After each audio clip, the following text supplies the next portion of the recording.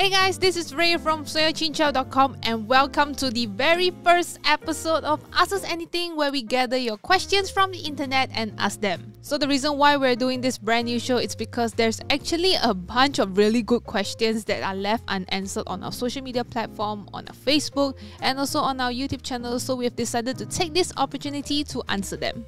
So in this episode, someone asked us about spatial audio and whether if it's available on Macs. And also, what's a virtual RAM? And also, what's so good about it? So let's get into it.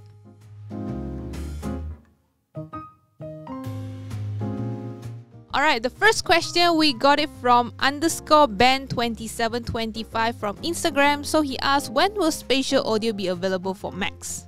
That's actually a really good question. So if you guys don't know what spatial audio is, this is actually Apple's head tracking audio technology. It allows for a more immersive experience because it sounds like you're hearing things from all around you. Last year, they've also added spatial audio for Apple Music, which means that certain songs will be compatible with the new technology. And if you guys don't know, here are the compatible devices for spatial audio. Alright, so coming back to your question. So apparently there's already support for spatial audio on Macs, specifically MacBook Pro introduced in 2021. But unfortunately, I can't get it to work on my unit. So I'm currently using the AirPods Pro and also the Intel-based 16-inch MacBook Pro and when I start trying to play music with it, I just cannot find the option of spatial audio.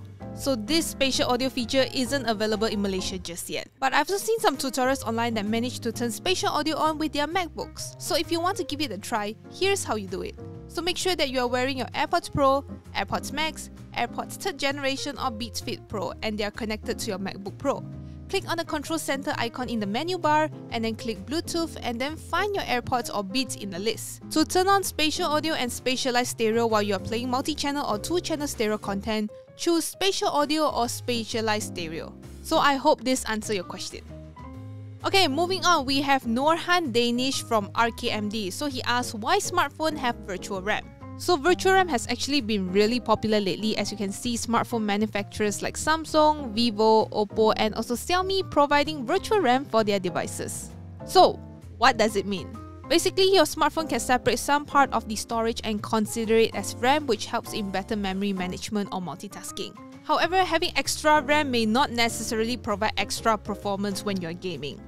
But it may prevent more apps from getting killed in the background. It all depends on how the feature is optimized by respective manufacturers. Next up, we have a question from RKMD from Hui Xiang Ru.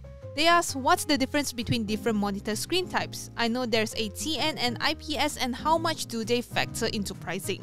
Great question. Yes, there's actually different monitor screen types. There are three main ones, namely TN, IPS, and also VA. So basically, IPS has the best viewing angles and best color reproduction, while VA has the best contrast.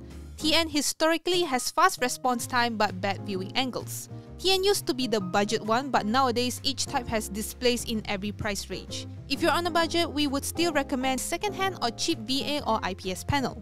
So if you want to know more details about this, Raymond actually wrote a full article on the different types of panels, so I will leave the link down in the description box below. Last but not least, we have a question from Rambo from YouTube. He asks, how much is the MacBook Air education price? So, if you're a student who plans to get a brand new MacBook or iPad for studies, you can actually get them through Apple's education pricing, which usually knocks around 10% of the original price. So, this promotion is only applicable for college students, teachers, and staff at all levels.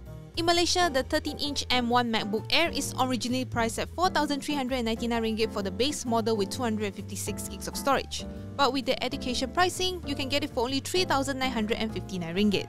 The high-spec model with 512 gigs of storage is going for 5,399 ringgit. With the education pricing, you will only have to fork out 4,959 ringgit. Plus, they are also currently having a promotion where you can get a free AirPods when you purchase the MacBook or the iPad. The free AirPods offer is running from the 6th of January until the 7th of March 2022.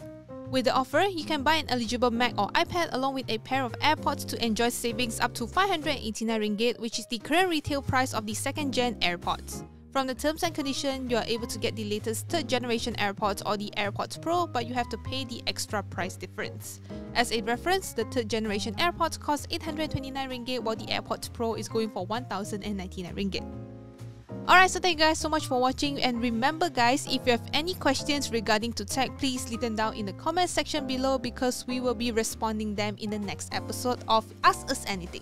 So that's about it. Remember to like our video if you liked it and subscribe to our YouTube channel if you haven't already and also click on the notification bell icon so you won't miss any of our future videos. Alright, so see you guys in the next one. Bye!